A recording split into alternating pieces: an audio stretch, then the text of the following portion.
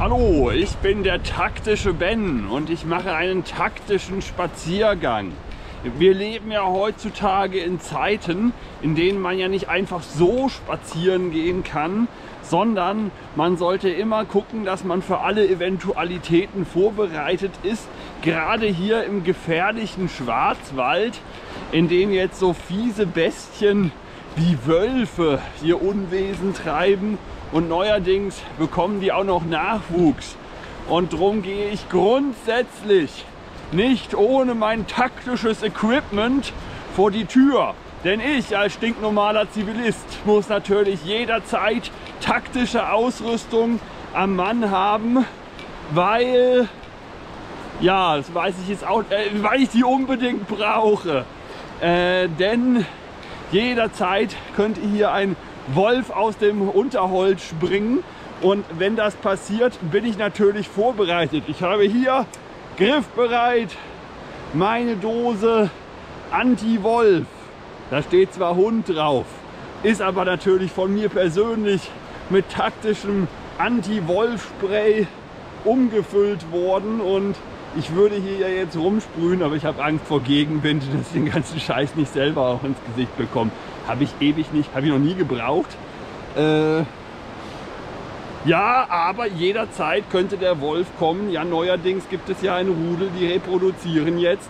Und da weiß man dann nie, ob man nicht vielleicht doch irgendwann taktisches Anti-Wolf-Spray jederzeit griffbereit haben muss. Ne? Also immer vorbereitet sein. Vorsorge ist besser als Nachsorge. Ne? Ähm, ja, und sollte der Wolf mit meinem taktischen Anti-Wolf-Spray nicht zu vertreiben sein, kein Problem. Ich habe auch noch ein taktische Anti-Wolf-Survival-Axt dabei. Haha! Ja, die ist sogar so taktisch, dass sie klein verpackbar ist und in jede Hosentasche passt. Man kann sie nämlich fast mit einer Hand aufmachen. Und so sieht die dann aus. Super gefährlich, enorme Hackkraft, wehrt jeden noch so äh, gefährlichen Wolf ab.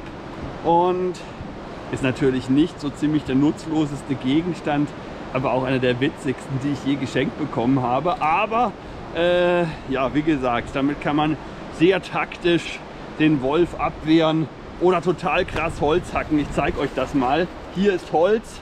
Ja, kann man das sehen? Ja. Aha, taktisch. Und drum muss ich die auch immer griffbereit haben, weil es könnte ja sein, dass ich irgendwann mal aus irgendwelchen Gründen mitten am Wegesrand auf einmal sofort das Bedürfnis habe, jetzt Holz zu hacken. Oh, Holz ist runtergerutscht. Naja, egal, jedenfalls bin ich jederzeit bereit, um sofort Holz zu hacken. Es wäre ja furchtbar. Nehmt, euch, nehmt mal an, ich müsste erst den Rucksack absetzen und meine Axt erst rausholen, wenn ich spontan Holz hacken möchte. Ja, nee, dafür habe ich echt keine Zeit im Leben. Ne? Das, das geht nicht. Oh, ein Bach.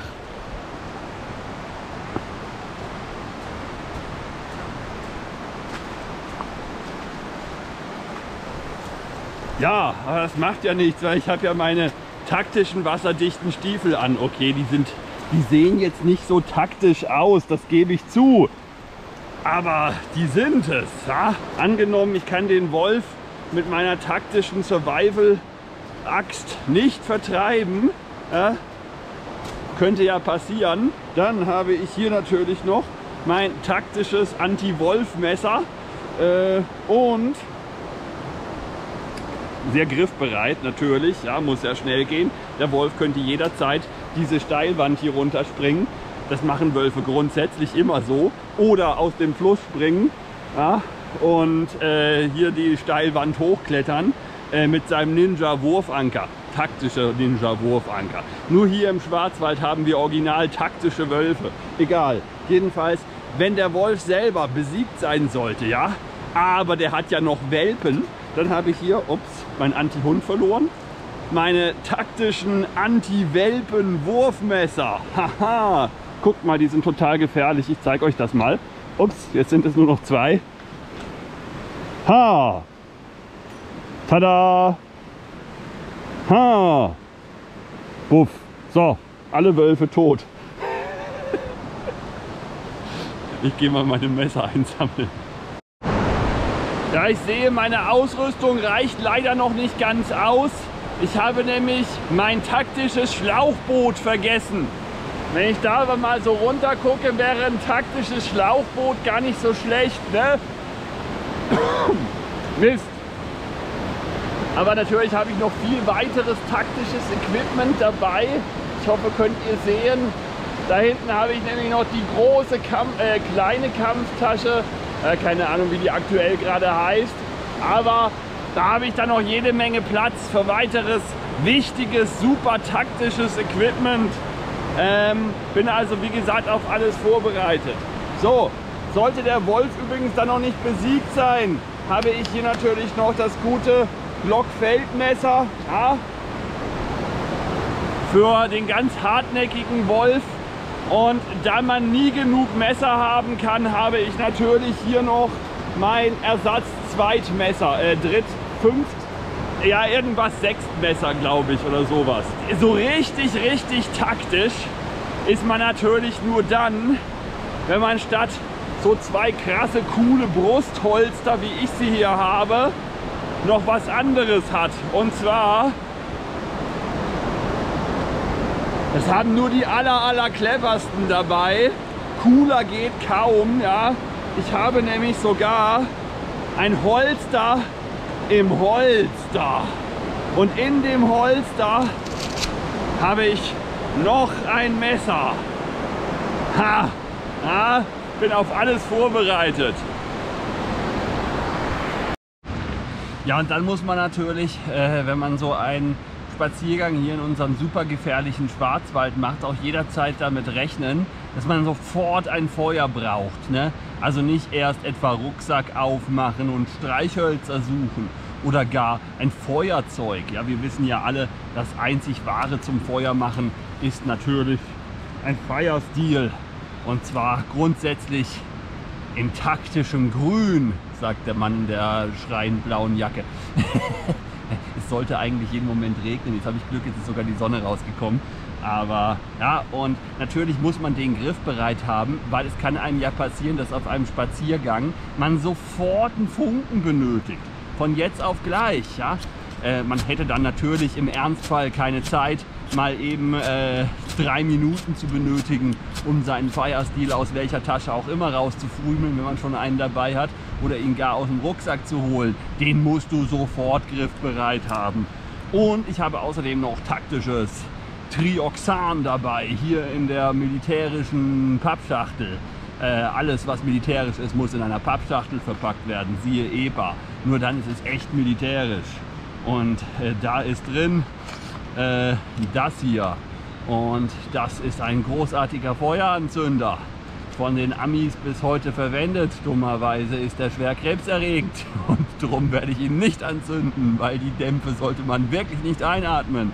Aber ja, äh, ich meine, in einem taktischen Szenario spielt das natürlich keine Rolle. Aber ist nett, dass ich das noch habe, zumindest als Requisit äh, äh, für, für, für taktische Zwecke zum jederzeit einsatzbereit haben. Außerdem, was man auch immer dabei haben sollte auf einem taktischen Spaziergang, ist ein richtig, richtig guter Kompass. Und es gibt kaum einen teureren und mysteriöseren und beliebteren Kompass auf dem Markt, das ist tatsächlich so, als diesen hier. Na, das ist nämlich der gute alte Original Bundeswehr Kompass von Breithaupt Kassel. Kann man hoffentlich einigermaßen erkennen. Aber das ist tatsächlich noch ein Original, geerbt von Vater. Und einer der besten taktischen Kompasse überhaupt. Ja? Man klappt hier dieses Deckelchen drauf und dann kann man da durchpeilen und dann kann man sich die Marschzahl anzeigen lassen und dann weiß man genau, in welche Richtung man marschieren muss. Immer der selbstgewählten Marschzahl hinterher, was einem ganz genau überhaupt nichts bringt, solange man nicht daheim eine Karte hatte und auf der Karte eine Marschzahl ermittelt hat, in die man überhaupt laufen möchte. Ansonsten sagt dir der Kompass höchstens, wo Norden ist.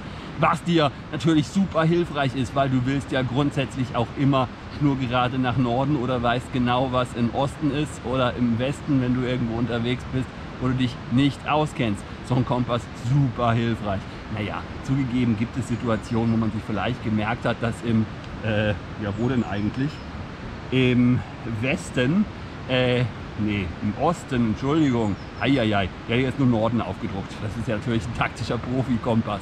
Ja, also im Osten ist der Fluss. Ja. Und wenn man sich das gemerkt hat, dann findet man immer den Fluss was einem nicht viel bringt, weil der hier komplett überall steile Ufer hat und man da niemals runterkommt, jedenfalls nicht heile. Äh, aber als Orientierungshilfe vielleicht hilfreich. Naja, jedenfalls taktischer Kompass. Äh, inwiefern jetzt dieses uralte Bundeswehrmodell, was wirklich arschteuer ist, wenn man so ein Ding noch käuflich erwerben möchte, besser ist als ein moderner, naja, der ist taktisch, außerdem ist er Oliv. Da es einem ja nun auch passieren kann heutzutage, mal abgesehen von den fiesen Wölfen, die einen überraschen können, äh, dass die Russen vorbeikommen oder der Putin eine böse, böse Rakete schickt. Aber auch darauf bin ich vorbereitet. Ja? Nehmen wir also mal an, Putin, Rakete da drüben, Bobov, Peng, äh, nehmen wir weiterhin an, weil das nimmt man grundsätzlich an für solche Szenarien, dass man hinterher auf dieser Welt überhaupt noch leben möchte. Und zweitens nehmen wir natürlich an, dass wir nicht in der Explosion gerade verglüht sind, sondern aus irgendwelchen Gründen überlebt haben. So, und jetzt, jetzt hat nämlich die taktische Industrie, genauer die Bundeswehr, hier uns auch noch eine so tolle Feldflaschentasche zur Verfügung gestellt. Und auch die Feldflaschentasche lässt sich natürlich schnell aufreißen. Und dann haben wir den taktischen Inhalt äh, unserer Feldflaschentasche selbstverständlich sofort griffbereit. Jetzt besitze ich keine Original-Bundeswehr-Feldflasche, aber so ein Ding passt da auch rein. Boing. Ähm, aber viel wichtiger ist natürlich taktischer Original-Bundeswehr Dekontaminationspuder. Haha, ja, da Putin, da guckst du was. Wir sind vorbereitet. Wir haben Dekontaminationspuder. Ah, mit Gebrauchsanweisung auf Deutsch. Dekontaminationsmittel ein Dingsbums Puder. Das kann man nicht mehr so genau lesen. Ist aber eine 60 Gramm Dose. Dann steht da noch ein bisschen Zeug, was man nicht mehr so genau lesen kann. Aber dann kommen wir auch schon zur Gebrauchsanweisung. Kappe abschrauben. Okay. Zack, Kappe abgeschraubt stark einpudern. Soll ich das wirklich machen? Guck mal, hier ist mein... Ja, also ich, ich mache mal ein bisschen. Wer weiß, was da drin ist, ne? Ja, okay. Ist gar nicht so einfach, sich damit stark einzupudern. Das muss reichen. Äh, eine Minute einwirken lassen. Das kriege ich noch hin, habt aber Angst. Äh, Puder rasch und gründlich entfernen mit dem Tupfer, der extra dazu zu in der ABC-Ausrüstung äh, des gemeinen Soldaten mitgeliefert wurde. Äh, und Entgiftung wiederholen. Vorsicht! Kein Puder in Auge, Nase, Mund oder offene Wunden. Wie gesagt, wer weiß, was da drin ist. Wahrscheinlich einfach nur Babypuder. Hoffe ich zumindest. Ich weiß auch nicht genau, ob das nicht einfach den Anschein erwecken soll. Ich meine, das funktioniert natürlich hundertprozentig befreit, garantiert von atomaren, biologischen oder chemischen Kampfstoffen. Hundertprozentig zuversichtlich. Und irgendwie habe ich das Gefühl, dass meine Hand jetzt juckt. Im Rahmen dessen wünsche ich euch einen schönen 1. April. Und äh, ja, ich hoffe, der eine oder andere hat schon damit gerechnet. Es hat mich diesmal ein bisschen fast überrascht, dass fast 1. April ist. Daher äh, musste ich schnell den Koppel zusammenbauen und äh, ja, einen auf Tactical Ben machen. Ähm, ja, inwiefern das Ganze jetzt ernst gemeint war, überlasse ich eurer Fantasie. Es folgt aber in Kürze auch noch tatsächlich ein ernst gemeinter Beitrag zu taktischer Ausrüstung, weil darüber müssen wir wirklich mal reden. Macht's gut und ich gehe jetzt ganz schnell Hände waschen. Ah, das juckt, das juckt, es brennt. Ah!